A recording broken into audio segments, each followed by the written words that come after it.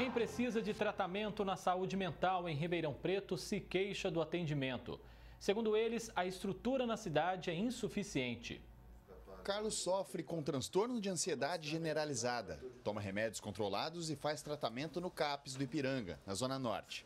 Porém, recentemente ouviu que o atendimento dele seria tirado do centro especializado. Segundo o gerente da unidade do CAPS Infanto Juvenil da Presidente Vargas, é, segundo ele me informou, o transtorno de ansiedade generalizada, que basicamente, não vou dizer tão normal quanto ao transtorno de ansiedade que a pandemia provavelmente tenha trazido aí para o pessoal, diz que esse tipo de transtorno mental pode até ser tratado numa OBDS, entendeu? O filho do vendedor, que tem 17 anos, já tratou o distúrbio do sono e também faz acompanhamento por ansiedade. Carlos reclama que a cada consulta há troca de médicos e isso atrapalha a sequência do acompanhamento. Ou seja, você tem que repetir a história 200 vezes entendeu? É, basicamente, eu acho que pelo volume de consulta e a necessidade do pessoal ter aumentado com a pandemia e tal, eu até entendo, mas eu acho que o, no caso da saúde mental, que, que é uma doença aí que afeta basicamente a família toda, eu acho que precisava de um pouco mais de carinho e de respeito. Os problemas se expandem e vão dos casos mais leves aos mais graves. Em 2020, o surto de um homem com problemas psiquiátricos terminou em furto e acidente de carro na Vila Albertina. A família pedia internação há tempos para tratar a esquizofrenia dele. O Luiz é membro do Conselho Municipal de Álcool e Drogas e voluntário na ONG Amor Exigente, que recebe vários pedidos de ajuda em relação à saúde mental. Ele vê de perto as dificuldades. O que, que nós temos em Ribeirão? Nós temos o Santa Teresa. O Santa Teresa está cada vez mais diminuindo a quantidade de leitos. O que nós temos acompanhado no Santa Teresa é uma diminuição. O Santa Teresa chegou a ter mais de 100 leitos. Hoje conta com 56 leitos, né? E está diminuindo. Né? Então, o que, que nós temos que pedir para o Estado? Que aumente os leitos. No ano passado, a Prefeitura decidiu fechar o PS Central, uma das principais urgências e emergências da cidade, para montar um CAPS 24 horas no local. Neste momento, o prédio passa por reformas e adequações. A previsão de inauguração é para o primeiro semestre deste ano mas até o momento, Ribeirão segue sem o serviço. A decisão foi alvo de críticas na época. Poderiam ter é, mais médicos, mais profissionais, se a gente tivesse os CAPs que a gente tem hoje. É, muitos deles a gente conseguiria transformar em CAPs 3 24 horas, entendeu? Então, esses, os leitos noturnos que vão abrir, abririam mais leitos noturnos nesses CAPs. Então, só que assim, é, é, voltado, a gente vai ter dois serviços novos que é inegável, mas que não precisariam estar no lugar da obediência central. O Luiz acha válida a construção do CAPS, mas alerta que é preciso também mudar a política de saúde mental. O CAPS 24 Horas de Ribeirão Preto já era para ter sido realizado desde 2013, 2014, quando veio verba para o crack é possível vencer. Veio verba para o CAPES 24 horas ser modificado aqui na Rua Pará.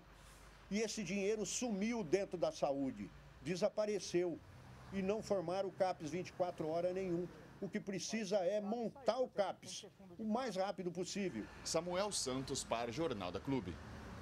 A Secretaria da Saúde informou que o Carlos, entrevistado aí na reportagem, é atendido no CAPES 3 desde janeiro de 2019. Já sobre a troca frequente de médicos no tratamento do filho do denunciante, a pasta informou que o tratamento dele já dura 12 anos, de modo que é considerado natural que tenha havido troca de profissionais nesse período. Contudo, durante cerca de oito anos, ele foi tratado pelo mesmo médico psiquiatra. Sobre o CAPES 24 horas na região central, informou que está em fase de finalização do projeto de reforma de estrutura física da unidade e que a previsão de início de funcionamento da mesma agora é para o primeiro semestre do ano que vem. Agora, ao vivo, Ximene Osório traz outras informações para a gente. Ximene? André, a gente é até surpreendido por essa resposta da Prefeitura, em que dá um prazo maior para a abertura desse CAPS na região central, agora de um ano. Boa tarde, doutor Alexandre. Quanto que a cidade perde com isso? É, eu, seria muito bom que o CAPS é, 24 horas funcionasse. Eu não sei se deveria ser às custas do fechamento da OBDS Central. Nós temos que lembrar que há pouco tempo o Hospital das Clínicas teve um problema com excesso de leitos e o atendimento de urgência geral da cidade é, teve um embaraço com essa questão do, de um certo fechamento relativo ali do, do hospital naquele período por excesso de contingente. Então a cidade precisa de uma unidade de atendimento geral de urgência que fique no centro. A unidade, a, a cidade também precisa de um CAPS 24 horas a mais. Nós tínhamos a ideia antes de que fosse feito ali atrás da UPA da 13 de maio, onde ficam alguns prédios ali que, eram, que são ocupados pela infra, sempre se falou que eles iriam sair de lá. Então a ideia era ocupar ali e montar ali um CAPS 24 horas de urgência que ajudasse é, no atendimento da cidade. Seria uma ideia melhor e não precisaria, então, é, mexer na OBDS central.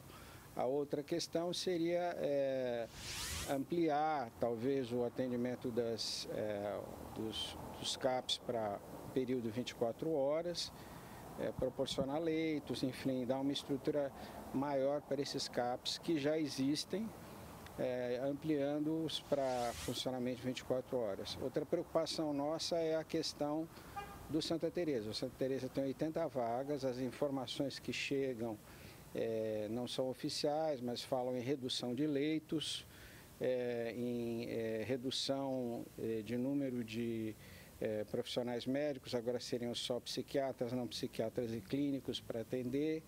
E isso é, atinge o setor de internação, que é o setor mais fragilizado da cidade.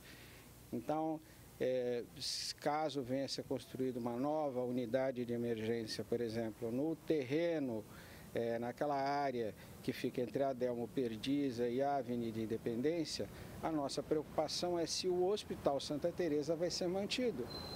É, porque há, já temos um déficit pavoroso de vagas psiquiátricas, isso toda hora vai à imprensa, aparecem pessoas solicitando vagas, famílias reclamando é, da necessidade de vagas. Então, é, as 80 vagas do Santa Teresa são poucas né, é, para uma região como a nossa. Nós temos um leito para cada 10 mil habitantes, é uma quantidade muitíssimo pequena.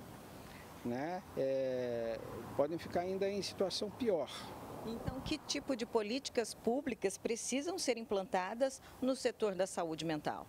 Precisaria ter mais, é, ampliar a rede CAPS, no caso, é, ampliar a rede de, de leitos psiquiátricos disponíveis ou em hospital geral, preservar as vagas do Hospital Santa Teresa, fazendo as mudanças funcionais que forem necessárias, até ampliar as vagas do Santa Teresa e uh, melhorar também as questões relacionadas a acesso à psicoterapia, por exemplo, é, que podem ajudar muito o paciente. Não seria só o atendimento em plantão psicológico, mas o atendimento em psicoterapia efetivamente.